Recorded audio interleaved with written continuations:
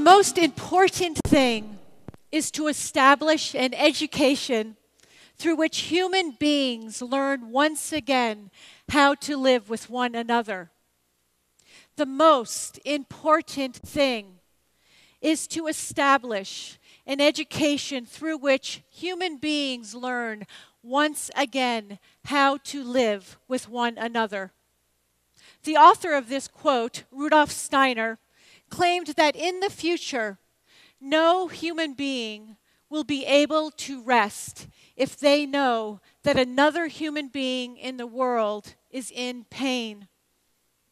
How do we educate children now to accelerate this very powerful goal? Teach subjects imaginatively and artistically so that students are encouraged to think independently and creatively. Teach so that students make heartfelt connections to subject material, so that they love science, math, and history. Teach students to work together, to forge meaningful and caring relationships with each other, their school, their community, and their world. Why? Because the world needs people who have heartfelt thinking. Because we need people who feel connected to their community and care about their community. We need people who have the fortitude and the will to actually get out into the world and do the good work. I believe every teacher can accomplish this goal in every classroom. Rather than animating computer screens, let's encourage animated conversation in the classroom. Rather than assign boring textbooks, let's bring the past back to life through the art of telling his story as well as her story rather than teaching to and stressing over standardized tests, let's activate deep, critical thinking and problem solving. Let's transform mainstream education so that every student engages academically, artistically, physically, and socially. So here are two academic lessons one math, and one history. How do we get fourth grade students to engage and be excited about fractions? How do we get them to wrap their minds around a fractured number, a number less than one?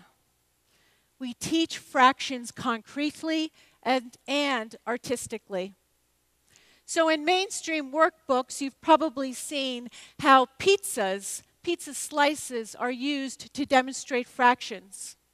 Well, if you really want to get your students' attention, bake a whole pizza pie from scratch with them in the classroom. Let them see the whole pizza and then devour it fractionally. Abstract concepts made concrete. Students completely immersed and bellies full. Try teaching fractions through music. So, in my class, in grades one through three, I taught my students how to play flutes by ear. But in fourth grade, I'll take musical notation and time signature and relate those to fractions. At first, the students work individually and try to relate these abstract dots on the page to the music fingering they already know so well. But to learn a new tune as one whole class, students must practice and help each other, listen to each other, problem solve, and get it together so that they can actually learn this one new song. Let's look at one history lesson from seventh grade. But first, who is the seventh grader? 12, 13 years old, entering puberty, often aloof, particularly toward adults. also maybe self absorbed, but often vulnerable, looking for a peer group, looking for a way to fit in. These young adolescents need worthy role models. So imagine this the classroom is silent, the lights go dim, the story begins. Long ago, in a 15th century rural French village, there lived a 12 year old girl who heard God tell her to leave her family, leave her home, and go save her country from English invaders.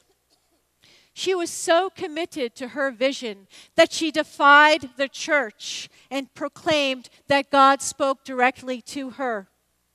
She defied gender norms and wore a suit of armor and commanded an army. She rode with soldiers into battle and put herself in harm's way to spur on their courage. Yet she, being personally against violence, carried only a banner into battle, no weapons. She ultimately gave her life she, Joan of Arc, was burned at the stake.